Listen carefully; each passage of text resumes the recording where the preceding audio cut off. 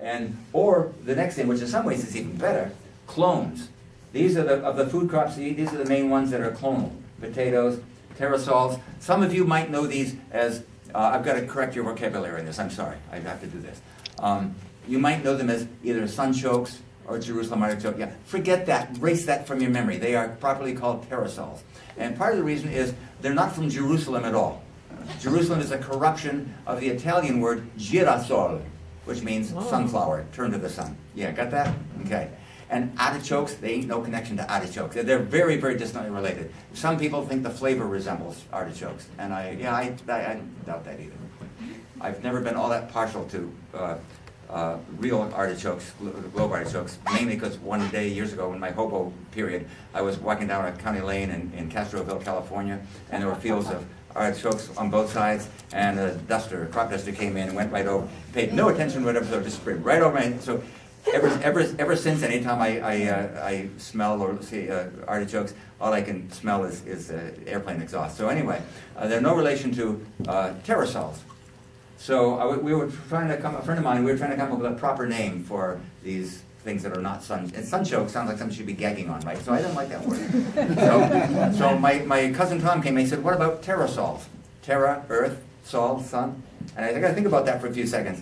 Thought about it, that's it, good. And so this is what uh, they're, uh, I'm on a campaign to get the word. I use it in my novel. We call them only, you got to figure out what I'm talking about because I'm only calling them sunchoke. I mean, calling them pterosols. So henceforth, what are they? Oh, you guys are beautiful. Anyone you hear say another word for correct, what, what's a type? What is? Oh, those things, pterosols. You mean? Okay. Um, anyway, they are clonal, like potatoes. You cut them up pieces with an eye on each one. You plant them. Okay. Um, sweet potatoes. Again, they're done. You don't do um, them sexually. You do them asexually. Garlic, uh, Egyptian onions, uh, top set onions. The, any of the bunching onion types that you don't plant seed of, that you divide or use a top set, they're clonal and shallots. These are all clonal crops. No sex involved in them at all. In fact, in fact, if you want to create a new variety of, let's say, um, Egyptian onion, you can do it. It's rather elaborate. It's a rather tricky thing to do it. You have to like, well, it's, it's kind of gross. I'm not going to tell you, but um, and it's, it's, in my book though. I didn't pull any punches there. Um, but anyway, these are crops that we don't have to worry about them staying pure. The thing you sometimes have to worry about them is because it's the same plant continuing on and on and on, they sometimes accumulate things like systemic viruses.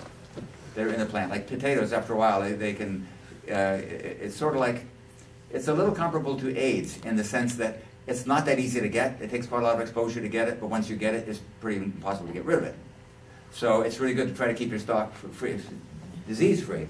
But as far as uh, crossing, no, not a problem. So these are simple to do. Yeah, they're, they're, How many generations does it take to get to that point, to which point? to the AIDS point?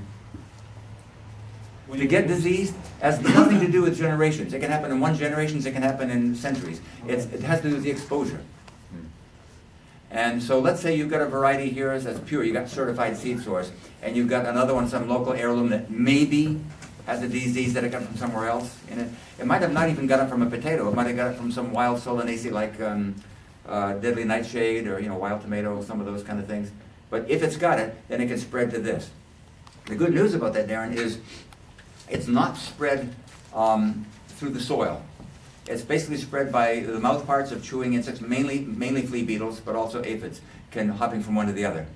So I have, uh, I've been rebuilding my potato collection and from, from pure sources and keeping it in a quarantine plot. So if I bring in something else accidentally, they won't.